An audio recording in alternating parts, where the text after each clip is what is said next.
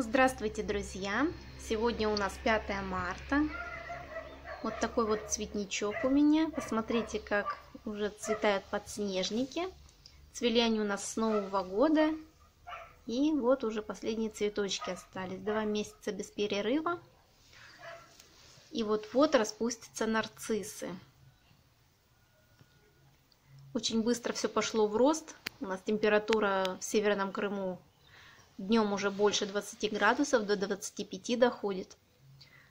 Резко стало тепло. Теперь срочно нужно проводить садовые огородные работы. Но сегодня, собственно, я и хотела не об этом. Сегодня мы поговорим о новом событии для крымчан, в частности для гостей Крыма и для тех, кто живет в Северном Крыму. Смотрите, даже дуванчик уже цветет и отцвел. Сегодня я специально ходила на ЖД вокзал. Вот расписание и вот как работает билетная касса с 7 до 17 часов вечера. Раньше наш вокзал принимал очень много поездов и работал круглосуточно. И направления были Киевское, Одесское, Николаевское, Белорусское, Польское направление.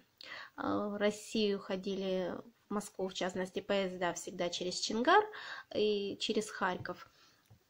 Нас они всегда миновали стороной.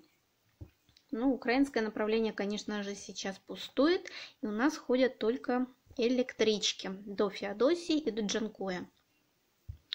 Поэтому, конечно, сейчас у нас будет тут событие еще одно новое. Теперь мы сможем от Армянска добираться прямо до Анапы пускай с пересадками, но это все электрички с одной на другую. Итак, 7 марта начинает курсировать э, рельсовый автобус РА-2 по маршруту Керчь-Анапа-Керчь. Будет он ходить с понедельника по четверг два раза в неделю, с субботы по воскресенье три раза в неделю и в пятницу. И стоимость билета будет стоить примерно 470 рублей.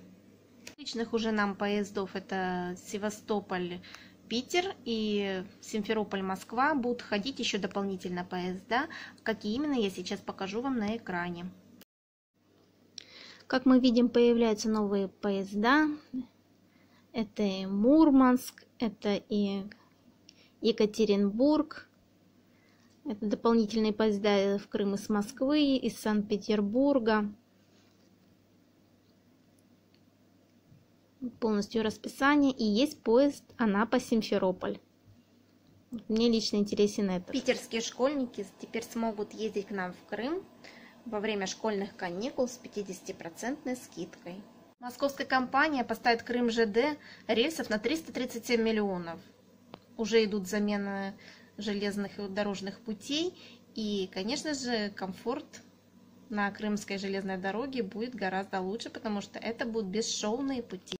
А Киев и дальше продолжает просить новых санкций для России у ЕС из-за запуска новых поездов в Крым.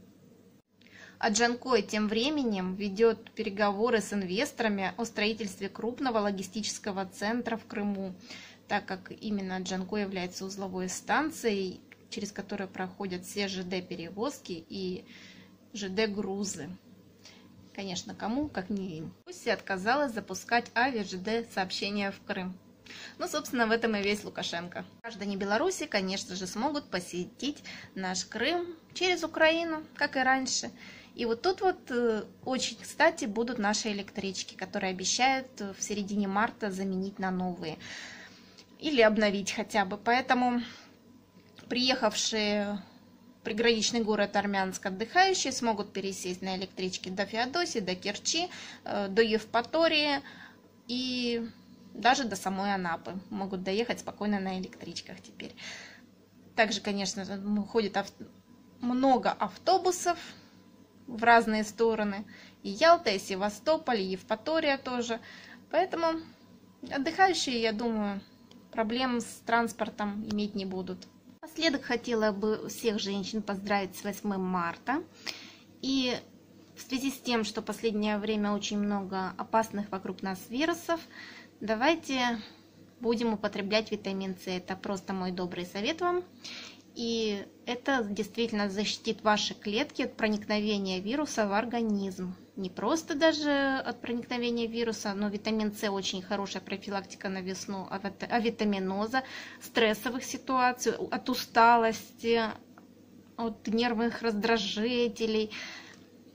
Витамина С в организме много не будет, потому что все лишние избыточные дозы выводятся с мочой, и вред вам никакой витамин С принести не может. Поэтому будьте здоровы!